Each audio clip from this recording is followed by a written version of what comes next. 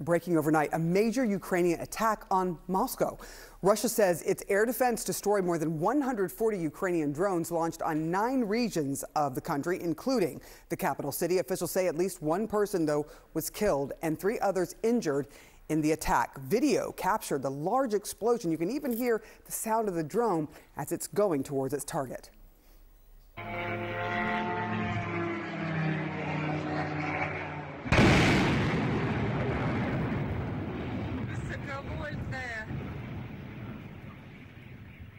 Wow. CNN senior international correspondent Fred Pleitgen in Kyiv with more uh, for us. Fred, what, what are you learning uh, about this attack? Hi there, Sara. Well, it really seems as though the Ukrainians have upped their long-range drone uh, capabilities. This is already the second very large-scale drone attack the Russians say that they've suffered from the Ukrainians uh, in a little over a week. And this time, as you mentioned, more than 140 drones the Russians say that they've taken down. And it's quite interesting to sort of see the flight pattern that seems to be emerging of these drones. The Russians are saying that they shot some of those drones down in the border regions with Ukraine. But then obviously, as we've just noted, some of them made it to the Moscow region. And what we're uh, sort of seeming to see here is that it appears to have been been, uh, at least in some places, an attack on Moscow's uh, airports. Uh, the one person who was killed, a woman who was killed, was 46 years old, was killed in the Ramenskoye suburb of Moscow. That's southeast of the Russian capital, but that's also the place where the Zhukovsky airport is located, which is a civilian airport, but one that also is known to the locals as the Ramenskoye airport. Also, we do know that at other Moscow airports, flight operations were shut down for several hours, and there's long lines that are forming there. The Russians have said that they fended off those drones. Nevertheless, it does appear clear that the Ukrainians are able to mount large-scale drone attacks, while at the same time, of course, over the past couple of weeks, we've also seen the Russians drastically increase their own air campaign against Ukrainian cities and against Ukrainian critical infrastructure as well. All this, Sara, as the situation in the battlefield really is heating up. In fact, we just returned from the east of the country, the area around Pokrovsk, the eastern front, where right now that city is getting shelled on a near constant basis. We were on the ground for several hours and we really didn't hear that shelling stop. Uh, I was able to speak to some medics who right now, of course, are helping the wounded who are on the front lines and evacuating them from there. They described to us how difficult their situation is. Let's listen in. Менше. І скажімо так, що навіть один наш може з легкістю бути на рівні з 20 росіянами. Але не вистачає дуже підготовки так же само, бо дуже короткі терміни, коли людей підготовлюють. Не вистачає обладнання. Вони перехватили ініціативу в небі, тобто дрони.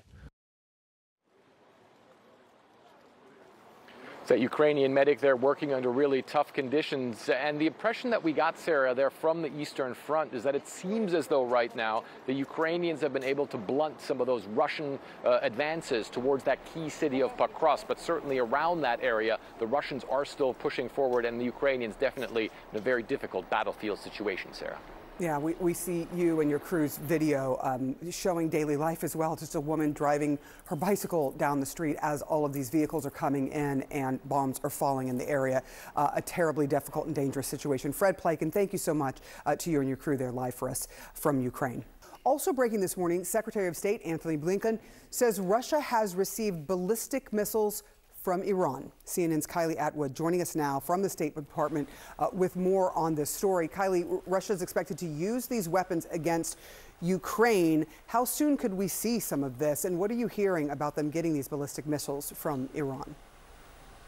Yeah, so the Secretary of State said that Russia could use these new missiles, these new ballistic missiles that they have now received from Iran on the battlefield in Ukraine within weeks, Sara. That is a significant development. We have seen Iran support Russia throughout the course of the Ukraine war. They have provided them with drones, they have trained Russian personnel on how to use those drones. But the Secretary of State called this specific shipment, this uh, additional support that they are providing to Russia with these ballistic missiles a dramatic escalation. He announced this in a press conference earlier this morning with his counterpart from the UK. Listen to what he said as they both head into Ukraine this week.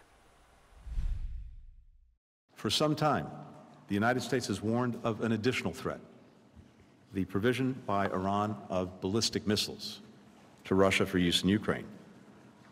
We've warned Tehran publicly, we've warned Tehran privately, that taking this step would constitute a dramatic escalation. Russia has now received shipments of these ballistic missiles and will likely use them within weeks in Ukraine against Ukrainians. Now, he also notably said that this is a two way street, that Russia is providing Iran with technology when it comes to the nuclear space, when it comes to uh, the space arena. He said those are also uh, significant developments. He also said that we're going to see sanctions from the United States and its partners against Iran uh, due to this action, the support that they have provided Russia. Those could come as soon as today. He said there would be additional action taken specifically against Iran Air. So we'll watch for that, Sara. All right, Kylie Atwood, thank you. Important reporting for us this morning. All right, with us now is White House National Security Communications Advisor John Kirby. Thank you so much for being with us. What's the U.S. view of the utility of these drone strikes inside Russia, particularly at Moscow? Well, look, John, I'll let these, uh, the Ukrainians speak to their operations uh, one way or another. This is not the first time that they have conducted these kinds of strikes inside Russia.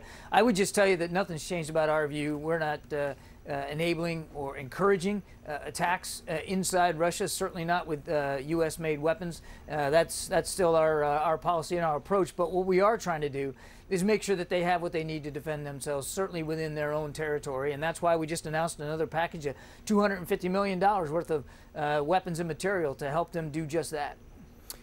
Um, do you see the strikes as changing the situation on the ground in Ukraine at all?